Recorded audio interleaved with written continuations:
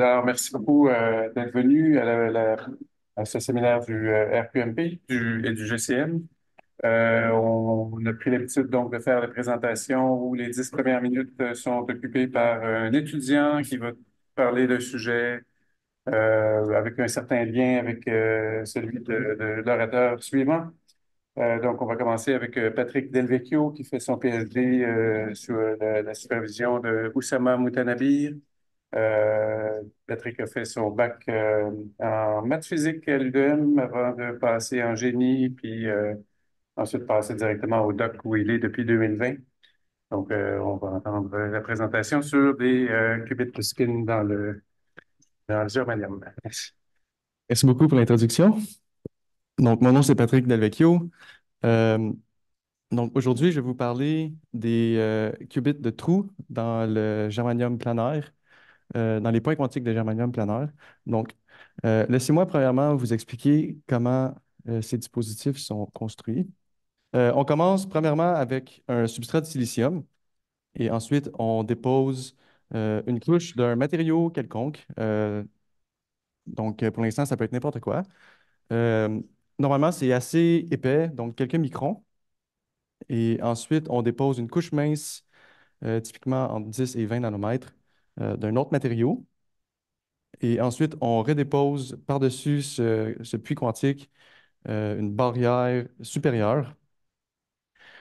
Donc, euh, ce qui crée un, un puits quantique. Donc, typiquement, ça, du point de vue croissance, c'est assez difficile à faire. Donc, le, surtout, le- donc la qualité des interfaces entre la barrière du dessous et la barrière du dessus doit être impeccable pour éviter euh, le plus de dislocations possible ou de défauts.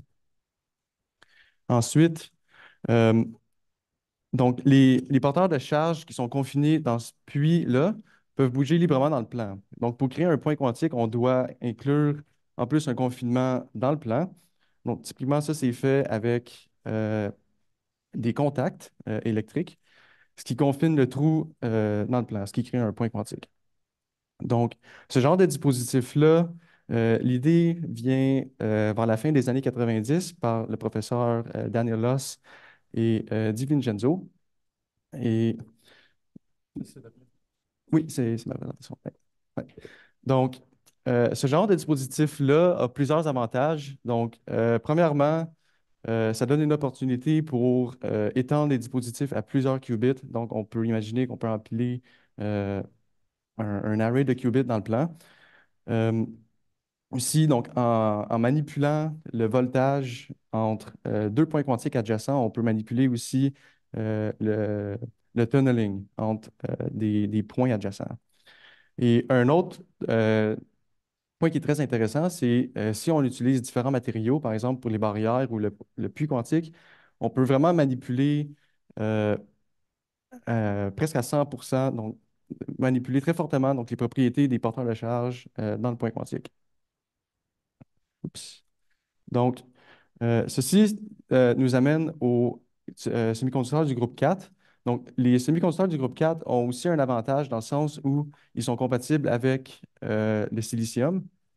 Puis, on peut aussi les purifier isotopiquement, c'est-à-dire on peut retirer les atomes qui possèdent un spin nucléaire, ce qui fait en sorte que le qubit a un temps de cohérence beaucoup plus long. Ici, par exemple, on utilisait des matériaux du groupe 3-5 où la purification isotopique est impossible. Donc, les semi-conducteurs du groupe 4 qui nous intéressent particulièrement sont le silicium, le germanium et l'étain. Donc, ces trois matériaux-là et leur alliage nous permettent de parcourir une très grande, un, très grand, une très grande fenêtre de paramètres de maille, en plus d'une très grande fenêtre euh, de bande interdite. Donc, ici, donc, le silicium est celui avec la plus petite maille et le plus grand, euh, la plus grande bande interdite. Ensuite vient le germanium et le germanium éteint. On remarque aussi que, euh, notamment dans le cas du germanium éteint, euh, en ajoutant de l'étain à l'alliage, on, environ ici, on, on voit une transition entre un matériau à gap indirect vers un gap direct ici. Puis également, donc en manipulant la concentration dans l'alliage, on peut contrôler le paramètre de maille.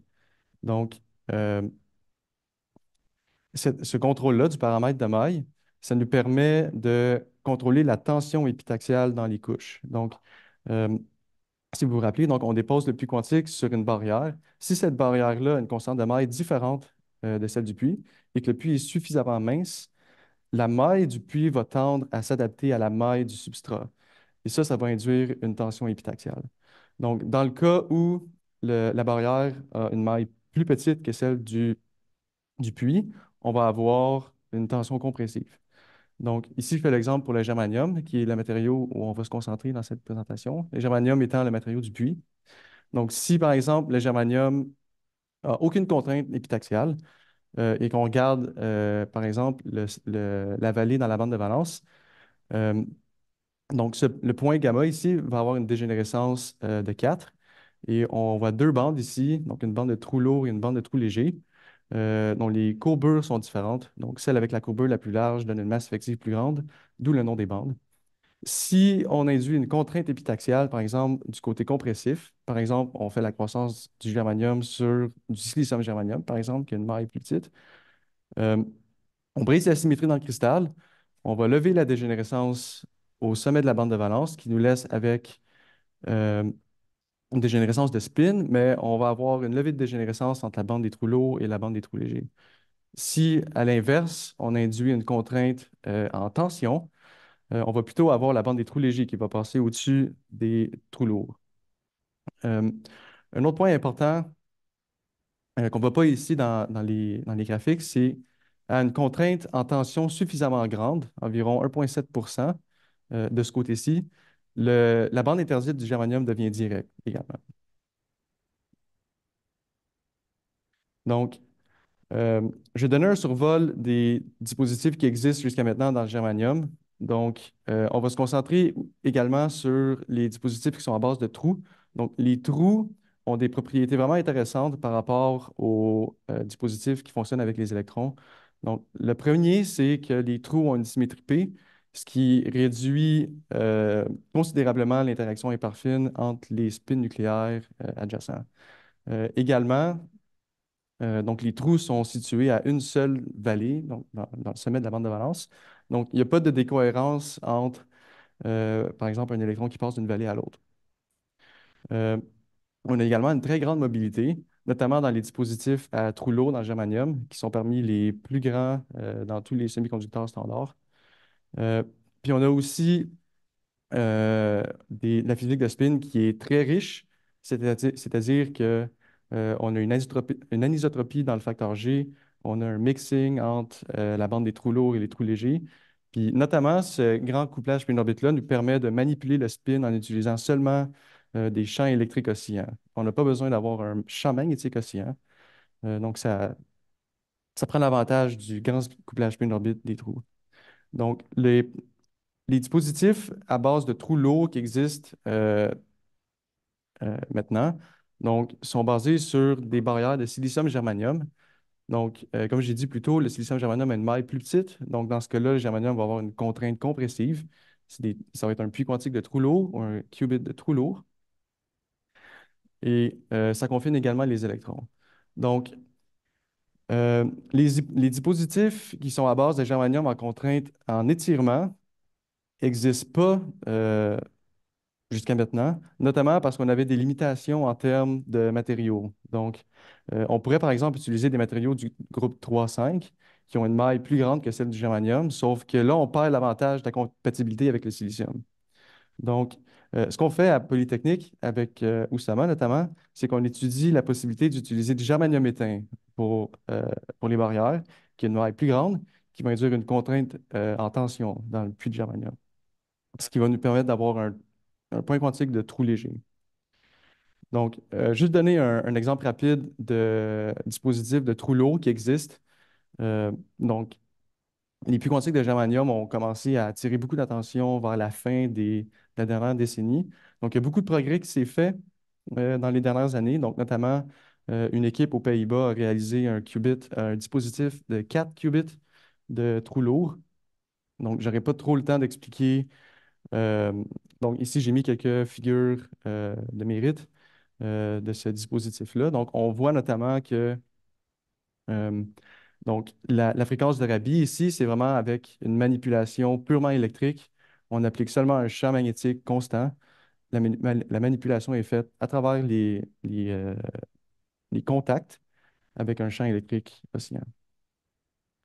Donc, euh, mon projet, moi, particulièrement, c'est d'étudier les propriétés du spin des trous légers dans les puits de germanium en contrainte en étirement.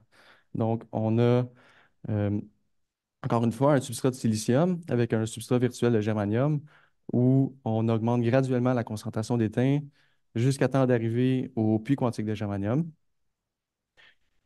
qui est également typiquement quelques dizaines de nanomètres euh, d'épaisseur.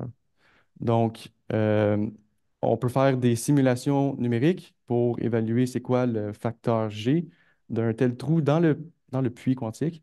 Puis on voit une très grande anisotropie. Donc, euh, le facteur G, quand on applique un champ qui est perpendiculaire au plan, euh, est notamment très large, mais aussi pour le, facteur G avec un champ magnétique dans le plan.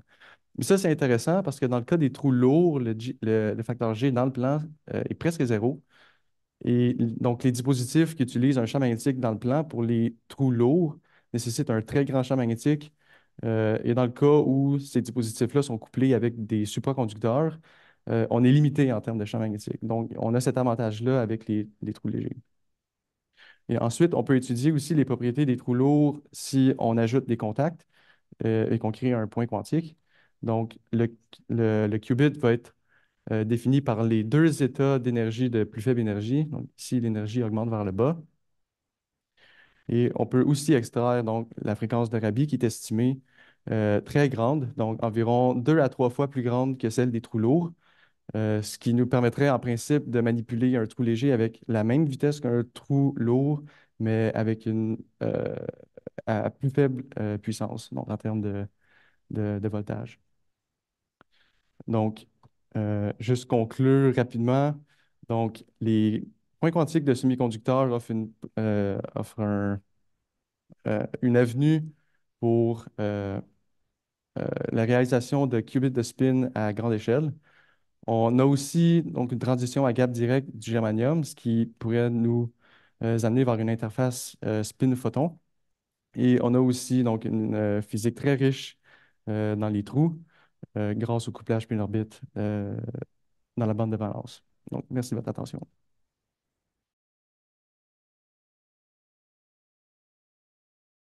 Oui, donc la question, c'est donc il y a une limitation en termes de la création de contraintes, euh, donc qui vient donc la différence de maille entre germanium éteint et germanium. Donc, au laboratoire, euh, ce qu'on fait, donc vraiment une partie qui est euh, vraiment un challenge en termes de croissance, c'est de créer un substrat Donc, ici, l'astuce, c'est, donc, on commence avec un, substrat de germanium pur. Puis l'idée, c'est vraiment d'augmenter graduellement la concentration d'étain, donc sur plusieurs microns, ce qui, ce qui limite les, les dislocations vraiment au bas du dispositif, proche du germanium. Puis euh, ce qu'on voit dans les images euh, TRM, TM ou SM, par exemple, c'est vraiment ces dislocations-là sont localisées dans le bas du substrat et les couches supérieures avec forte concentration d'étain, typiquement 13% 14% d'étain, sont sont libres de dislocation. Puis aussi, un point important, c'est qu'on est quand même limité en termes d'épaisseur du puits quantique. Euh, si on dépasse, par exemple, quelques quinzaines ou vingtaines de nanomètres, selon la concentration d'étain, euh, on atteint l'épaisseur critique du germanium. Là, on va avoir plusieurs dislocations qui vont apparaître. Mais dans nos dispositifs, on est allé jusqu'à 12 nanomètres, puis la, la, la, la structure cristalline était très, très peu.